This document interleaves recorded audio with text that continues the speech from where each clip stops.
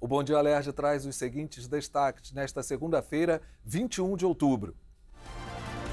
Novo mercado do pescador em Búzios fortalece o turismo no balneário mais famoso do Brasil. Trilha do Arvoreto em Petrópolis reabre ao público depois de passar por reformas. Ivan Lins faz única apresentação no Teatro Municipal do Rio. O Bom Dia Alerj começa agora.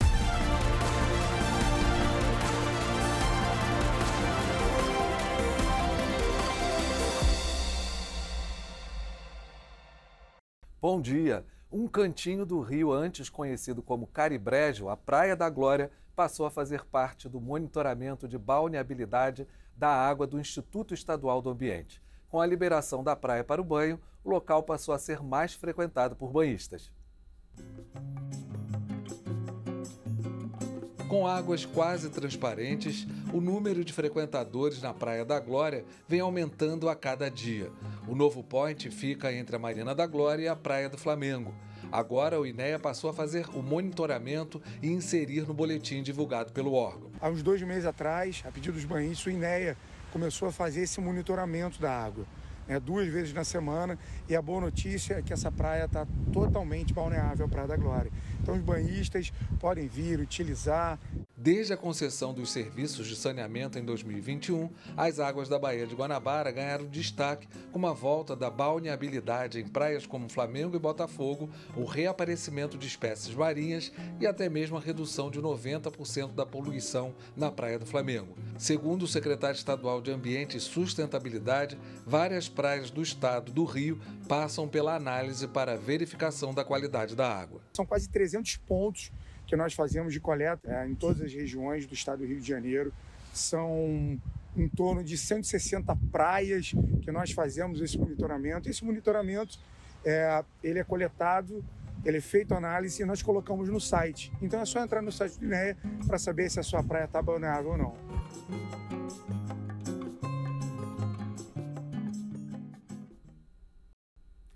Os cavalos marinhos estão ameaçados de extinção em todo o planeta, inclusive no Brasil. Esses animais exóticos existem há 25 milhões de anos.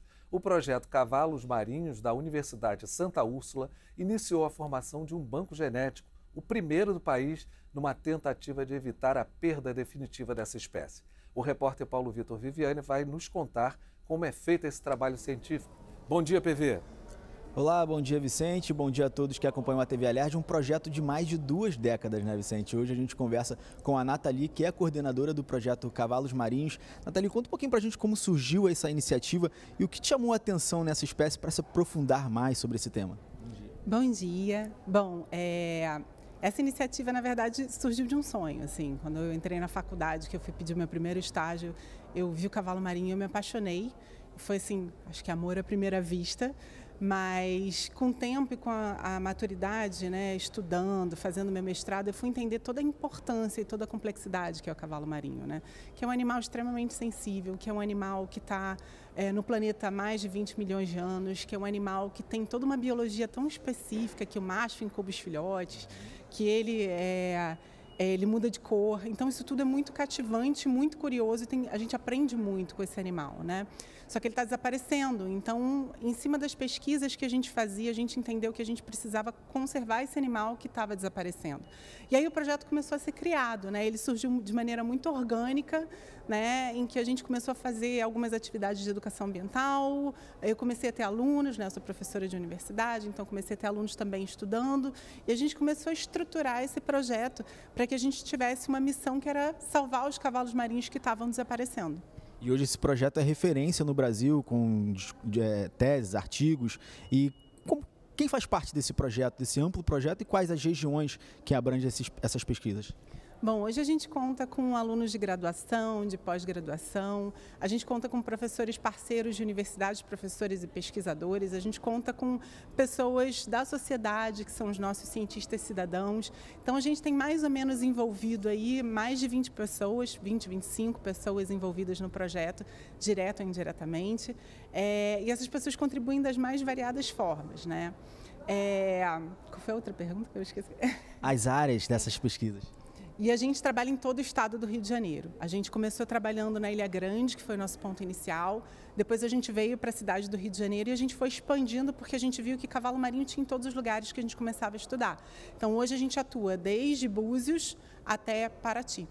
E agora, em relação aos desafios para a preservação dessa espécie, a captura ilegal e a poluição são os principais desafios?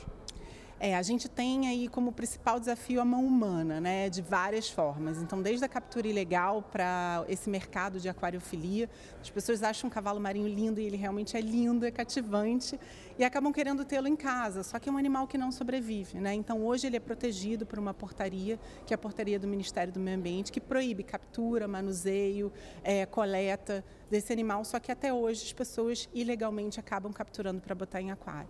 Esse é um problema. O outro problema é a pesca ilegal. Então, às vezes, com pesca de arrasto, vem muito cavalo marinho. Normalmente é pesca industrial. A gente tem feito monitoramento da pesca artesanal e a captura é muito baixa. E, muito pelo contrário, os pescadores têm sido muito parceiros, em que a gente deu um treinamento de ensinar como é que tira da rede, devolve com saúde. Então, eles têm sido muito parceiros em relação a isso. Mas a pesca industrial é uma pesca que vem dizimando cavalos marinhos pelo mundo inteiro. Tem uma estimativa de é, captura de 37 milhões de cavalos marinhos no mundo ao ano. Então, assim, é um valor muito alto. Esses são os principais, mas a gente também tem a destruição de hábitat, a poluição, que são outros agentes que vêm contribuindo aí para a redução da qualidade de, de vida desses animais e reprodução e por aí vai. E Nathalie, a presença desses animais na orla do Rio de Janeiro, nas nossas baías, é sinônimo de uma melhoria na qualidade da água? Então, existe uma certa confusão em relação a essa relação do cavalo marinho com a qualidade de água. Na verdade, ele, é, ele pode viver numa qualidade de água ruim, desde que o seu hábitat esteja apropriado. Então, às vezes, a gente tem é, algumas qualidades de água que, por exemplo, a gente associa sempre poluição a é, esgoto doméstico e a esgoto industrial. Às vezes, o esgoto doméstico ele está super alto naquela região, mas ele propicia uma condição de ambiente para o cavalo marinho que ele vai ter hábitat, ele vai ter alimento. Então ele acaba encontrando ali uma, uma, uma condição boa para ele, mas isso não quer dizer que a qualidade de água esteja boa. Então para o cavalo marinho o que é importante é ter um hábitat favorável, não uma qualidade de água tão primorosa. Então essa relação direta de que qualidade de água boa e cavalo marinho em excesso não vale. São diversas espécies ao redor do mundo. Aqui no nosso estado, quais são as espécies que a gente encontra? Bom, aqui no nosso estado a gente tem três espécies. A mais comum é o cavalo marinho do focinho longo. A gente tem uma espécie mais rara, que é o cavalo marinho do focinho curto, só que ele é muito pouco visto. Ele é mais comum na América do Norte, então aqui no Brasil ele é super raro.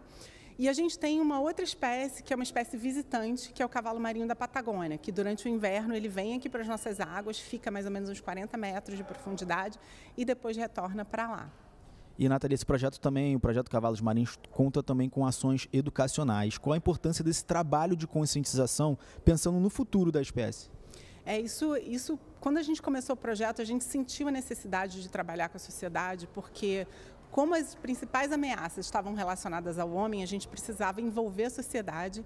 E, e, o que a gente viu de super grave é que as pessoas sequer sabiam que cavalo marinho existia.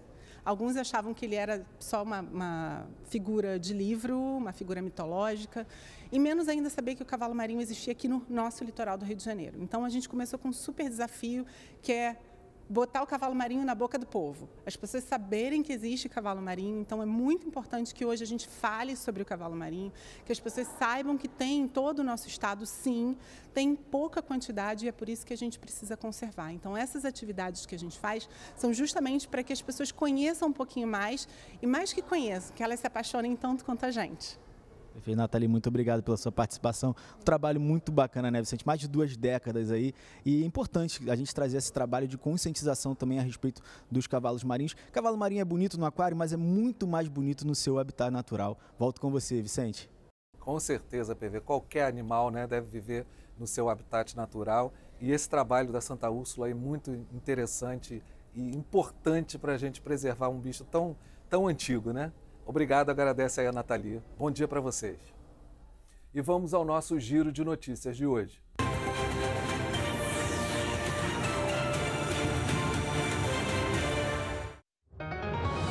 Em breve, o mercado do pescador de Búzios, no bairro Rasa, vai entrar em funcionamento.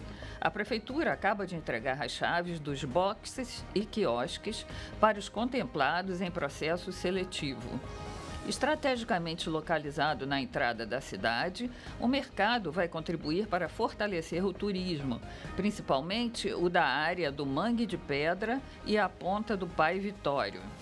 O mercado abriga espaços para marisqueiras, peixarias e quiosques e também conta com o núcleo da Secretaria da Pesca, a sede do Quilombo da Rasa e uma área infantil inclusiva. Vai ser um local onde será possível comprar um pescado fresco, comer um peixe frito e assistir a shows de músicos locais. A trilha do Arboreto reabriu para o público depois de um período de obras no Palácio Itaboraí, sede do Fórum Itaboraí, em Petrópolis. O objetivo da visitação é ajudar as pessoas a compreenderem as características e diferenças entre as mais de 400 espécies de plantas, a maioria plantas medicinais, identificadas no local. O passeio é guiado por monitores universitários e pode durar de uma até três horas. O cantor, pianista e compositor Ivan Lins faz uma única apresentação no Teatro Municipal, dia 29 de outubro. Ivan vai apresentar os maiores sucessos da sua carreira, acompanhado da orquestra MPB Jazz, na série Joias da MPB. O artista carioca, único cantor-compositor de língua portuguesa ganhador de um Grammy Latino na categoria Melhor Álbum do Ano, acaba de voltar de uma turnê na Europa. Ele prepara um álbum de inéditas para lançar em 2025, quando completa 60 anos de carreira sua risada mais gostosa. E antes de encerrar, vamos dar uma olhada no tempo em algumas cidades do estado. Você vê aqui na tela, todas as cidades estão com tempo nublado. Angra e Mangaratiba, um, Angra com 22 graus, Mangaratiba com 24 graus, São Francisco de Itabapuana 23 graus, São Fidélis também 23 graus. Vamos ver agora como está o tempo aqui no Rio de Janeiro. Você vê imagens aí da Baía de Guanabara. O tempo amanheceu nublado, choveu durante toda a madrugada. Nesse momento faz 23 graus. A máxima prevista para hoje é de 26 graus. Obrigado, Rodrigo Melo, pelas imagens ao vivo. O Bom Dia Alerta termina aqui. Se você quiser enviar sugestões ou vídeos aí da sua cidade, é só acessar nosso e-mail tvalerge.alerge.rj.gov.br. Um ótimo dia para você e até amanhã.